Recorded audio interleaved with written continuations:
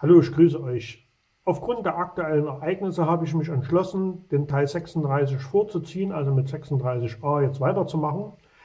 Hat folgenden Grund. Ihr wisst ja, äh, die Veröffentlichungen in der Presse deuten jetzt auf große wirtschaftliche Verwerfungen hin. Äh, das äh, Pressesprecherin der Russischen Föderation hat wohl rausgelassen, dass die Russische Föderation für die USA eine Neujahrsüberraschung vorbereitet hat. Kann man sich überlegen, was das wohl ist. Ähm, ihr wisst ja, dass das Datum 1.1.2016 eine besondere Bedeutung hat. Wer die letzte Zeit äh, die verschiedenen Foren verfolgt hat und auch die Presseveröffentlichung weiß, worum es geht. Also, ich hatte es schon im letzten Video mal angedeutet, es geht um die Zusammenhänge der Anbindung des Rubels an den internationalen Geldmarkt. So, und zwar ist folgendes. Man denkt ja nur, dass die russische Regierung russischen Rubel in beliebiger Menge herstellen kann, so wie es die wirtschaftlichen Erfordernisse, äh, also Wirtschaftswachstum und, und äh, Kreditvergabe erfordert. Ne? Also Geldmengen vergrößern, wenn der Kreditbedarf größer wird, wenn das Wirtschaftswachstum entsprechend da ist und Geldmenge verringern, wenn es äh, zu äh, Inflation und Deflation so Probleme gibt, also mit der Geldmenge. Und, und die die Regulierung der Geldmenge ist ein ganz wichtiges Instrument, äh, damit es weder zu einer Inflation noch zu einer Deflation kommt. Also Inflation heißt, das Geld wird immer weniger wert und die Leute hauen, hauen raus und viel Geld. Und Deflation ist es eine Flucht, dass die Leute äh, das Geld horten und nicht mehr ausgeben und die wirtschaftlichen äh, Sachen ins Stocken geraten. Und das führt natürlich dann dazu, dass die wirtschaftlichen Prozesse nicht mehr rundlaufen. Also großer wirtschaftlicher Schaden aus Sicht der Industriellen entsteht. Ja. Uns ist eine Deflation gut, weil äh, es äh, zeigt, dass das Volk hier wirklich die Macht hat, darüber zu entscheiden, indem es eben nur die, die wichtigen Dinge ausgibt und den, den Betrag, den es nicht braucht, eben in Gold und Silber anlegt. Damit kann man sozusagen sein, sein Verhältnis, sein Vermögen mehren, weil ja Gold und Silber ist Geld während die Papierscheine, die wir als Geld ansehen, kein Geld ist. Das ist ja die Täuschung, die gemacht wird. Früher war es ja so, in den alten ja, 1700, 1800er Jahren in den USA konnte man also äh, äh, Geldscheine äh, erwerben, die den Gegenwert in Gold hatten. Also wenn irgendwo eine Goldmine war, haben die also für ihre Nuggets im Prinzip solche Gold-Dollar, Gegenwert-Dollar gekriegt und die konnten an jeder Bank wieder in Gold äh, eingetauscht haben, also Goldmünzen. Die haben also Nuggets abgegeben, haben Scheine gekriegt und die Scheine konnten sie dann bei irgendeiner Bank in Goldmünzen umtauschen. Also war ein bequemes Geschäft. So, und Präsident Nixon hat dann sozusagen die Goldbindung aufgehoben, sodass man heute also mit Euro zwar immer noch Gold kaufen kann, aber es gibt keine Einlöseverpflichtung. Das heißt, du kannst nicht mitten in der Währungskrise zu deiner Bank gehen und sagen, ja, hast du ein, ein Backen Papiergeld, gib mir mal 5, 6 Goldmünzen, weil der Wert von Gold zum, zum Papier äh, in, in schlechtem Verhältnis steht. Also die, die Inflation folgt ja da, da, dazu, dass man dann für eine Million nicht mehr, am Brot gibt. Und damit wird sozusagen die ganze Papiergeldblase eingesaugt und es bleibt einem nichts mehr übrig. Die ganzen Ersparnisse und so weiter sind dann, nicht, sind dann weg. Außer die Leute, die physisch Gold und Silber hatten. Äh, der Wert ändert sich ja nicht. Ne? Wenn der Papiergeldwert implodiert, also sozusagen die Papiergeldmenge exponentiell steigt, äh, dann sinkt natürlich der Wert des einzelnen Scheins ins Unermessliche, also nach unten. Und ähm, nur die Sachwerte. Apfel bleibt ein Apfel, die Goldmünze bleibt eine Goldmünze, eine Kerze bleibt eine Kerze und ein Stück Kohle bleibt ein Stück Kohle. So, nur das Verhältnis zum Papiergeld ändert sich. Und zwar in einem unguten Verhältnis. So, das ist das, was in der Währungskrise passiert. So, und nun muss man wissen, dass es eben aufgrund des Verrates von Gorbatschow ähm, Gorbatschow erlaubt hat, ähm, den, den russischen Rubel an die US-Währung zu binden, sodass nur so viel Rubel erzeugt werden kann, wie äh, US-Dollar in den russischen Wirtschaftskreislauf gelangen, sodass also die USA über den Dollar die Wirtschaftskreisläufe der USA kontrollieren können. Und das ist ein eindeutiger Verrat, ein Hochverrat gegenüber dem russischen Volk. Und Putin hat dem einen Kampf angesagt. Also äh, die mehr dass Gorbatschow hier für eine Befreiung der, im Osten gesorgt hat. Das ist, also hat sich inzwischen total in Luft aufgelöst und die Ostdeutschen sind stinksauer über dessen, dass Gorbatschow die Frechheit besessen hat, unsere Grundrechte auf die Bundesstaatenangehörigkeiten zu verhögern, und zwar bei den Verhandlungen zur Wiedervereinigung am 17.07. Und dafür ist Gorbatschow und Kohl als Verräter des Volkes verantwortlich. So. Und Putin ist es dran, erstmal für sein Land erstmal die wirtschaftliche Basis herzustellen, indem er jetzt sozusagen die Inlandswährung vom Euro-Dollar-System lösen will. Ja, dann muss man sich das so vorstellen. Wirtschaftskraft, Wirtschaftskraft und hier die Dollar, das ist wie Pferd und Reiter.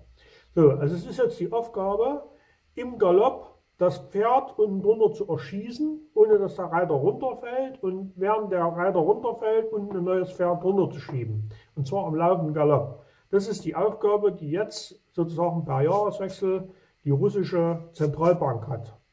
Ja, kann man sich vorstellen, das ist schon schwer zu denken. Ähm, aber im Prinzip funktioniert es so. Es müsste sozusagen in, in der letzten Woche der Handelstätigkeit, das wäre also die, der Zeitpunkt von ähm, äh, Sonntag 23 Uhr bis äh, zum Handelsschluss, es wird irgendwann so ja, am 31.12. Nachmittag oder wahrscheinlich Handelsschluss sein, müssen die Staatsanleihen, äh, die Russland äh, als Gegenwert für Rubel halten musste, auf den Markt geworfen werden. Und in China das Gleiche. Dann kann man sich vorstellen, wenn ein bestimmtes Produkt in Massen auf den Markt geworfen wird, sodass also mehr davon da ist, als die Wirtschaft bzw. auch der Markt aufnehmen kann, sinkt der Wert natürlich bis ins, bis ins unermesslich Tiefe. Ja, also gibt es einen starken Abfall. So. Wenn es natürlich jetzt, äh, sagen wir mal, du hast 1000 Staatsanleihen, du kriegst aber dann während des Abverkaufs immer weniger dafür. Ne? So, dann hast du eben früh am Morgen, wenn du um 7 Uhr anfängst, das Zeug auf den Markt zu hauen, da kriegst du vielleicht noch 95 Prozent. Also um 10 Uhr wird es dann so bei 70 einklingeln. Und ähm, nachmittags gegen Handelsschluss, du bist du froh, wenn du noch 60 oder 50 Prozent von dem Wert erlöst, äh, wo du mal ursprünglich davon bezahlt hast. Also ist es sozusagen dem, dem Geschick der Händler, ähm, äh, liegt nur die Zukunft der, der russischen Währung in den Händen dass sie eben die, die Staatsanleihen so auf den Markt hauen, dass Russland und China eben noch genug Gegenwerte kriegen. So eine günstige Sache wäre zum Beispiel, wenn man die, die, die Staatsanleihen, die in, der, in, in Russland und in China liegen, also von den USA, so auf den Markt haut, dass man gleichzeitig Öl aufkauft, also Anrecht auf Öl. Es wird ja das, das, das Öl nicht direkt gehandelt, also niemand rollt ein Fass in die Börse rein, sondern das sind immer Scheine oder Bezugsscheine auf eine bestimmte Menge von, von Barrels. So, eine bestimmte Menge wird da gekauft. So, und dann ist es so, dass also die Händler auch nicht den Basiswert kaufen, also das Barrel selber, sondern so, nur noch die Handelsdifferenz. Also die müssen sozusagen ein, ein Hundertstel des Ölwertes bei der Bank hinterlegen, weil der Wert schwankt nun nicht so sehr, ja, müssen aber sozusagen für Kursverluste äh, haften und die Kursgewinne selber können sie sich einstecken. Also wenn man sich zum Beispiel überlegt, dass das Barrel jetzt so bei 35 Dollar steht und das Barrel würde jetzt steigen von, von 35 auf 36, dann hätte der, der Händler sozusagen einen US-Dollar verdient und würde das von 35 nach 34 fallen, müsste er einen Dollar bezahlen. Ja, so.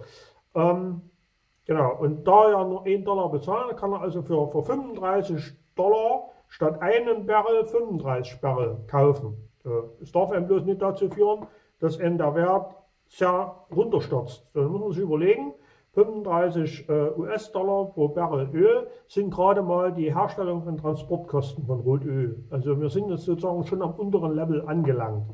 Wenn jetzt Russland die Staatsanleihen auf den Markt haut und dafür äh, Barrel bzw. Äh, CFDs, also Contracts for Differences, auf Rohöl kaufen würde, würde der Rohölpreis wieder auf den alten Wert zurückkehren. Und der alte Wert, der lag bei 171 US-Dollar pro Barrel.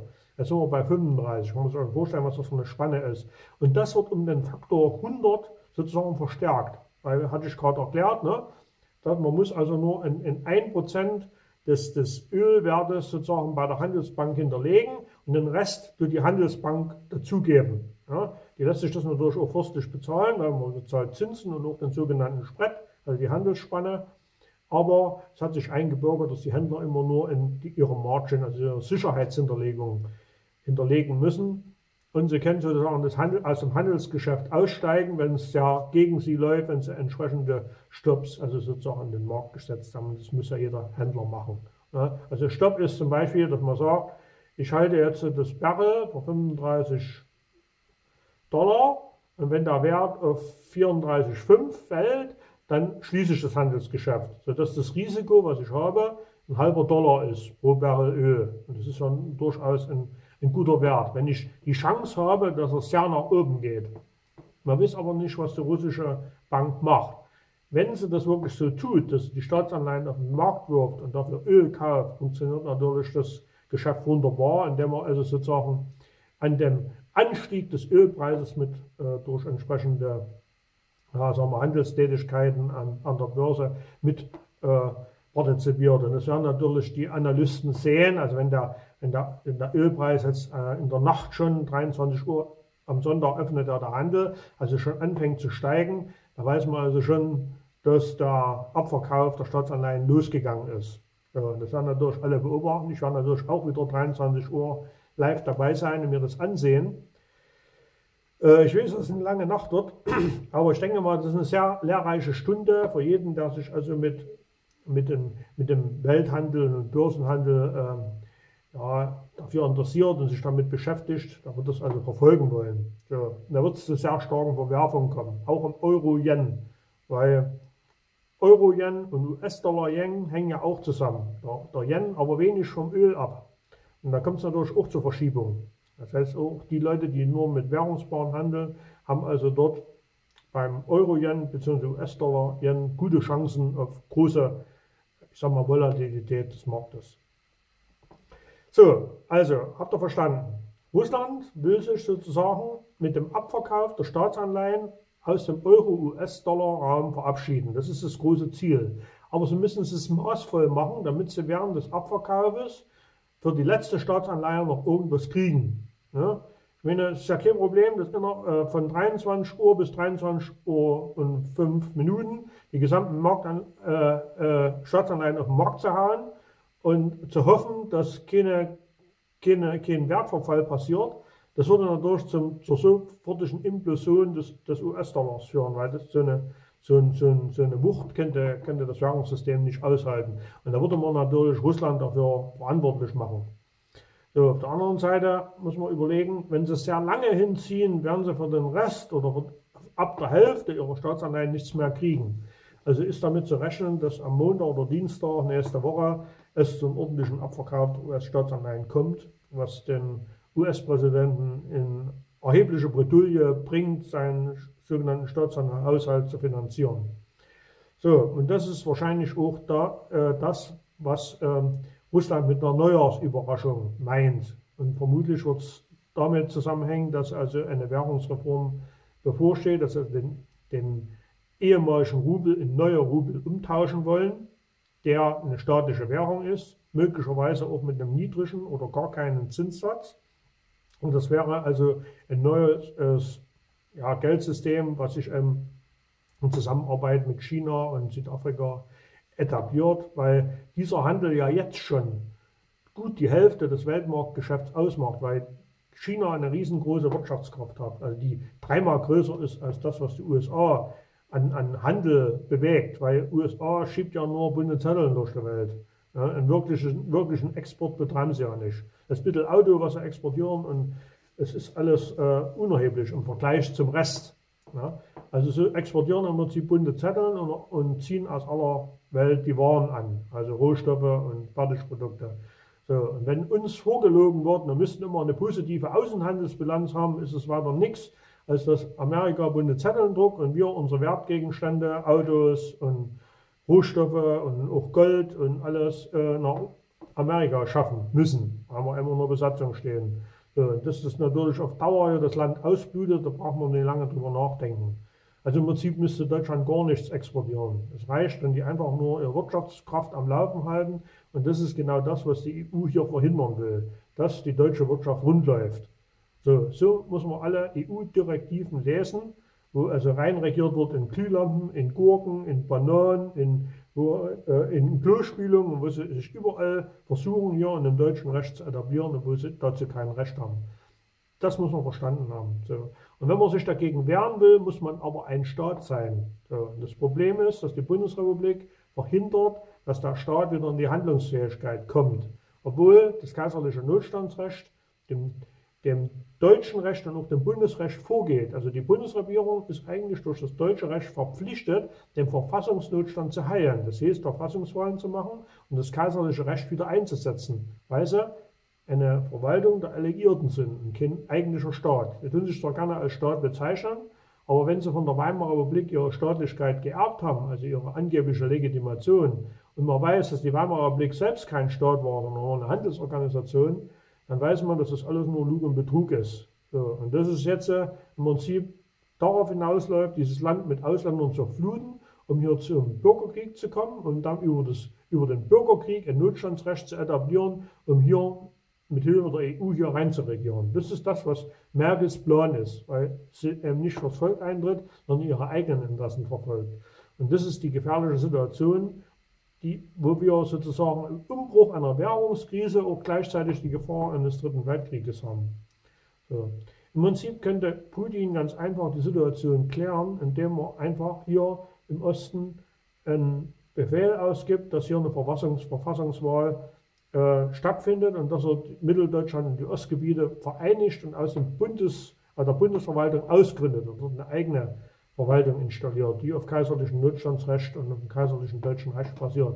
Und dann kann ja dort der Verweser, der da neu gewählt wird, die, die Gesetzgebung den heutigen Erfordernissen anpassen. Das ist ja das, wo wir immer wieder äh, sagen, dass das die beste Lösung ist. Aber wenn die Leute das nicht begreifen und selbst zu Begida immer noch mit Schwarz-Rot-Gold durch die Kante rennen und meinen, dass da eine Zukunft liegt, ja, dann kann man den Leuten eben nicht helfen. Dann müssen sie eben erstmal durch, durch die Euro-Krise, sämtliches Vermögen verlieren, sämtliche Besitzansprüche auf Grund und Boden, Haus und Schulden haben ohne Ende. Wenn sie es nicht anders lernen, kann man halt nicht, äh, was soll man da machen? Ne? Das Einzige, was man machen kann, ist selber für eine gewisse Notversorgung äh, sorgen, indem man sich also Trinkwasser hertut, ähm, Notnahrung, also gute Notnahrung sind Kekse oder Zwieback oder alles, was, was ohne Kühlung hält, Fischkonserven. Äh, was auch sehr gut geht, sind so eingeschweißte Brötchen, die man nur aufbacken braucht, kann man auch, auch als über ein Feuer aufbacken, ja, was also nicht gekühlt werden muss. So. Und äh, ja, möglichst äh, wenig gesüßte Getränke, sondern Getränke, die sich lange halten, also Mineralwasser, und äh, ja, sorgt dafür, weil es kann, wie gesagt, jetzt zum Ende des Jahres beziehungsweise die ersten drei, vier Wochen im neuen Jahr äh, zu erheblichen wirtschaftlichen Verwerfungen kommen. Warum, wieso, hatte ich erklärt. Also der Abverkauf der Staatsanleihen führt zu einem starken Preisverfall. Und wenn die Russen auf die Idee kommen, da, um dem entgegenzuwirken, Gold, äh, Rechte, äh, Gold und, und Rohölrechte kaufen, dann würden natürlich genau Gold und Rohöl preislich durch die Decke gehen und das zieht dann noch die anderen Kosten hinterher. So, das ist das, was jetzt hier in nächster Zeit erwarten. Und ich habe es in den anderen Teilen auch immer wieder gesagt, guckt euch den Film an. Ähm, Margin Call, der Crash, gibt es bei YouTube noch als Film. Äh, guckt euch einfach mal an. Da wird auch die, das Problem des Abverkaufs erklärt. Ja, also die, die verkaufen dort, die haben also dort auf Immobilienwerte gesetzt ne, und die Immobilienwerte waren alle überbewertet und wenn jetzt die Leute nicht zahlen, dann fallen natürlich die Immobilienwerte in sich zusammen. Also es ist im Prinzip die Verfilmung der Lehman Brothers Krise aus 2008. Und der Film erklärt das richtig. Ne? Also wie die Leute ticken, wie, wie sie untereinander interagieren, wie einer und anderen sein Teufel ist und wie das ganze Geld- und Währungssystem im Prinzip an einem seidenen Faden hängt, dass wenn einer an der Kette zieht, alle anderen hinterher reißt. Also die, ähm, äh, sagen wir mal, nicht sich auf das klassische Bankgeschäft allein konzentriert haben, sondern eben so ein Investmentbanking machen. Guckt euch den Film unbedingt an. Ist eines der wichtigsten Filme, die in der letzten Zeit ja, an der Öffentlichkeit vorbei im Internet noch immer noch zu haben sind. Also wenn ihr es als DVD bei Amazon noch erwischt, sammelt das ab. Ähm, ich habe jetzt auch äh, einige Filme mir bei Amazon oder irgendwelchen Versendern organisiert, die aus den öffentlichen Medien verschwunden sind. Also guckt euch mal an, den Film Projekt X. Äh, da geht es um ein paar Affen, die äh, äh, trainiert werden, ein Flugzeug zu steuern bei starker Strahlung. Da kann man sich überlegen, warum ist der Film aus dem öffentlichen Verleih raus? Ja, könnten ein paar Militärs äh, der Meinung sind, das Volk käme dahinter, dass die eine oder andere militärische Forschung vielleicht doch in Realität auch stattfinden könnte. Der zweite Film, der das betrifft, ist Blue Thunder, Fliegende Auge. Warum ist der Film aus dem öffentlichen Verlauf raus? Ja, weil er im Prinzip die Problematik äh, deutlich macht, die wir heute haben. Also die Überwachung und die Provokation von Ausständen. Das ist das, was Deutschland gerade bevorsteht. Der nächste Film, der hier interessant wäre, ist So ein Genie äh, mit Fall Kilmer. Äh, da geht es um die Entwicklung eines, einer Laserwaffe. Ja? Also junge Studenten verheizt werden, eine Laserwaffe zu bauen. Äh, Real Genius ist der, glaube ich, in der Originalsprache, aber es gibt ihn äh, in Deutsch jetzt nur noch für exorbitante Preise, also man bezahlt fast 20 Euro für die Kassette, ist auch klar, weil ist ähm, nur halt ein Film, man das sagen, steht quasi auf dem Index, wird nicht mehr gebracht. So, und da gibt es so einige andere Filme, die aus, dem, aus der öffentlichen Wahrnehmung rausgefallen sind. Man kann nicht sagen, direkt verboten, aber einfach nicht mehr kommen. So, äh, ein weiterer Film, der in den 60er, 70er Jahren gespielt hat, ist Silent Green. Ich weiß nicht genau, wo ich ihn datieren soll. Da geht es darum, äh, eine also, ähm, ja, guckt euch dann an, ich will es eine, eine Form. Also, da, da macht man so eine künstliche Nahrung ja, und, die, und am Ende des Films stellt sich raus, dass das aus menschlichen Überresten hergestellt wird. Ähm, ein sehr interessanter Film, äh, komischerweise nicht mehr am Fernsehen. Ähm, dann gibt es noch einen Film, Network hieß der, wo im Prinzip äh, die Lügenpresse entlarvt wird, der auch nicht mehr in öffentlichen Medien kommt, aber auch bei YouTube noch zu haben ist. Guckt euch das an, nutzt die Feiertage auch immer ein paar geistreiche Filme euch reinzuziehen und lasst mal den ganzen Hollywood-Track weg, der euch nur in den Konsum treibt. Ja. Gibt dann überhaupt Filme hier, die Minions zum Beispiel. Ne? Also da geht es in den ganzen Film nur darauf, dass man äh, die Kinder so umerzieht, für den, für den Bösesten zu dienen. Also schon, schon die, die Aussagen, die auch in dem Film kommen, müssen eigentlich alle Warnlampen angehen lassen. Dass also hier schon eine, eine Umerziehung bis ins Kinderzimmer geplant ist. Also guckt da rein, was er den Kindern zu Weihnachten schenkt und überlegt wirklich, ob das, was er denen dann als Bücher oder als äh, Werbeartikel oder als Filme zu Weihnachten schenkt, ob das wirklich eine gute Moral hat. Und die Filme mit einer guten Moral sind sehr dünn gesät.